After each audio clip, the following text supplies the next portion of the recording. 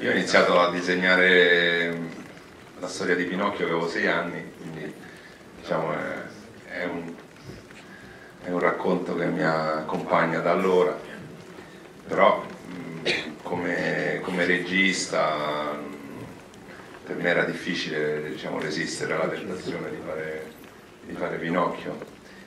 E, e poi come avete visto ho avuto la fortuna di avere dei compagni di viaggio accanto a me straordinari, eh, da Roberto, Federico, Gigi, Massimo, Rocco, e Maria, insomma tutti gli attori mi hanno aiutato a dar vita a questi personaggi, eh, mi hanno anche aiutato a fare un film che sia anche che abbia una sua leggerezza, una sua ironia, comicità.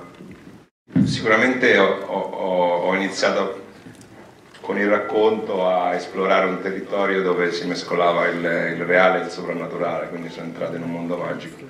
Però questo film credo sia una storia a sé, è un film di cui sono felice perché riconosco ogni fotogramma di questo film mi appartiene, però al tempo stesso abbiamo cercato di fare un film che potesse arrivare a tutti, un film eh, popolare, così come il, il, grande capolavoro di Collodi. Nasce come un testo popolare che si rivolge a tutti, indistintamente dalle classi sociali, dall'età.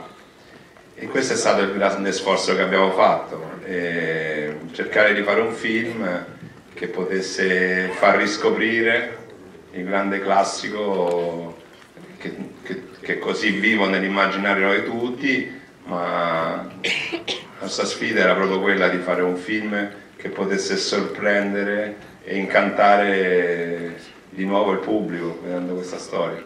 Io sono partito proprio dalle origini, come dicevo prima, quindi sono, per me, se devo immaginare eh, da un punto di vista figurativo chi è stato fondamentale, partirei da Mazzanti, da Enrico Mazzanti che è stato il primo illustratore di, di Pinocchio e che ha disegnato a contatto con Collodi, che già, già avevano lavorato insieme su altre opere di Collodi.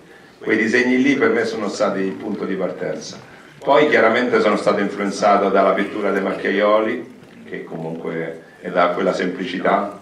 E, e cromatica anche. E poi sicuramente il, il, Pinocchio di Comencini per certi versi mi ha, mi ha, ispirato, per certe atmosfere, per quel senso di povertà.